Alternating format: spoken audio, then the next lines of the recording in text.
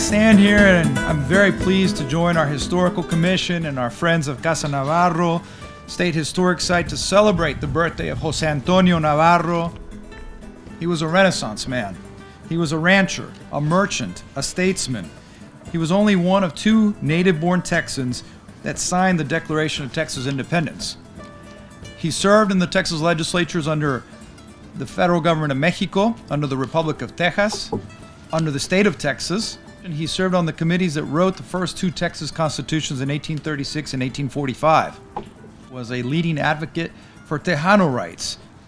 And at this original 1850s adobe and limestone home. It was the last remnant of a, the historically Mexican west side of San Antonio that at one time had been known as Laredito.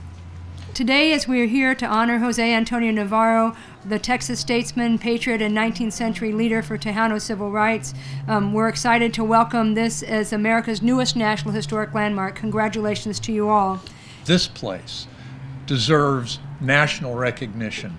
And so to have it move forward and become a National Historic Landmark is a, a, very personal goal and something I'm really, really happy to say we've managed to accomplish. Today we really are celebrating a new marker, one that will honor the legacy and the history of Jose Antonio Navarro. Today, we celebrate his recognition by the rest of this great nation. Helping to preserve historic landmarks like Casa Navarro and the Alamo are important not only to bring the past alive, but in helping many of us remember and some of us know where we come from and who we come from.